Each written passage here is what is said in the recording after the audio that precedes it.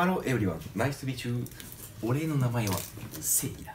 こっちゃん来たんでおおこてっちゃん。ということで今日紹介していくのはこちら スターバックスカフェラテうえー the 商品紹介。なんやなんやということで今日はね俺らやっぱコーヒーマイスターじゃないですか、コーヒーマイスターだね。動画でも証明されたじゃないですか、コーヒー通といえば ST スタジオです。とんでもない量のコーヒー飲んでもういろんな味が分かると。そこでもうおいしめっちゃ美味しそうなんだ。これ高いやつないかなって調べたら一番高かったのがこれだったんですよ。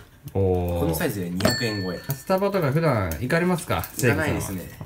気持ち悪いもんあそこ。気持ち悪い。気持ち悪いあそこに行ってるやつかっけえみたいな風潮決め。ああまあその風潮は否めないな、カフェラテ。カフェラテ。多分これもう一個ぐらい種類あったんですけどそれはちょっと置いときまして。ちなみに何味それ？これカフェラテ。何百回出せんだお前。カフェラテ。いただきます。はい。インスパイアされたインスパイア。インスパイアされた。完全にインスパイアされた。うわこてつも飲みたい。待ってくれよ。これやばい。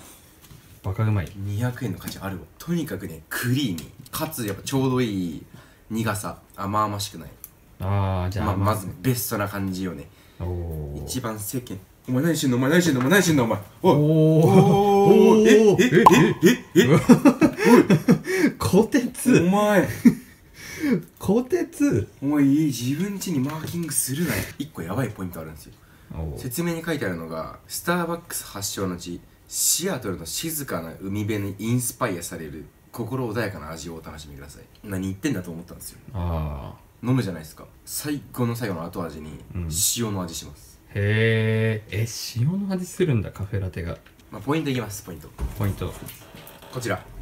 はい。スターバックスカフェラテ82点。おお高い。まあでもぶっちゃけさせてください。うん。塩いらねいらねえのかよ